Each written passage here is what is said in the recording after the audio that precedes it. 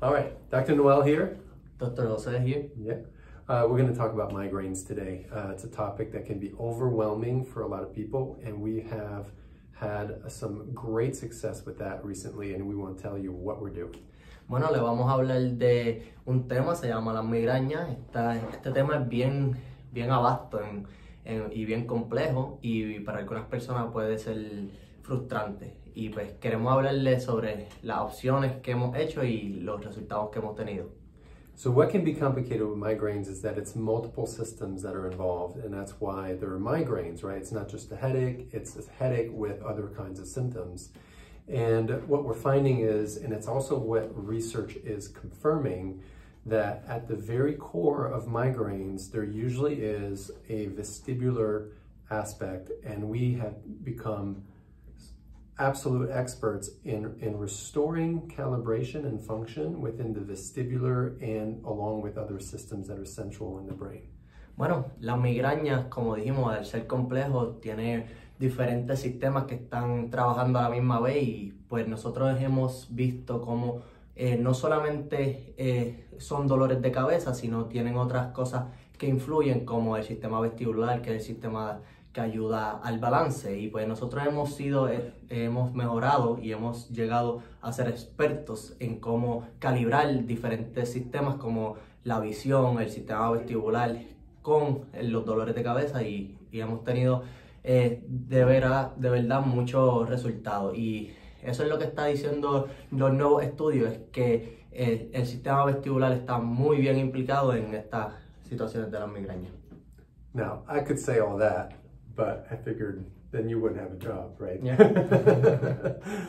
so uh, I'm kidding. Uh, I, I could say it in a different language, but Yeah. not in Spanish. So one of the things that I want to uh, share with you is that once we've calibrated the vestibular system, uh, for one, that could be life-changing for so many. But sometimes we need to take it a step further and get the pain to come down or the pain to desensitize. And there's a device that we use called the Stimpod. And the Stimpod, that's exactly what it does. It's just absolutely amazing for interfering with the pain signal.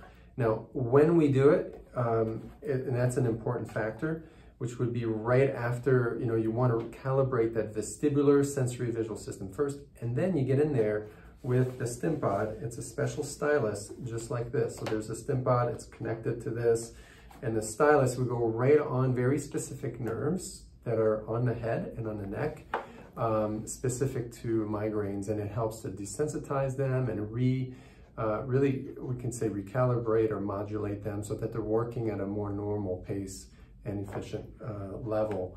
And so great success with that. And there's additional steps that we can take when we need to, but just with those first two, we are finding a, a significantly high level of success.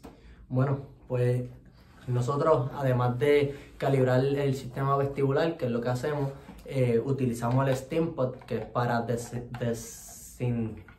desensitivizar el dolor de, del dolor de cabeza y de las migrañas. Y vamos a nervios específicos en la parte de atrás de la cabeza este, para poder aliviar ese dolor y tratar de restaurar la normalidad de, pues, de esos nervios.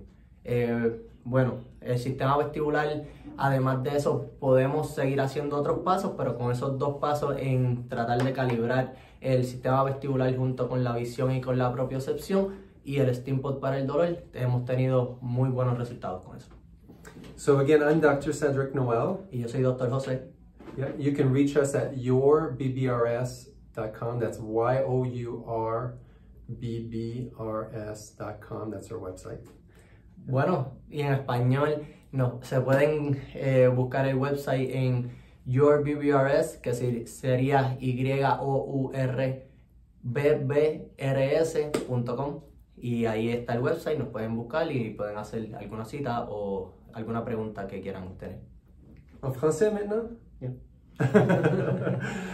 we'll, spare you the French version. Yeah. All right. Have a great day. Hope to hear from you. Uh, reach out if you have any questions.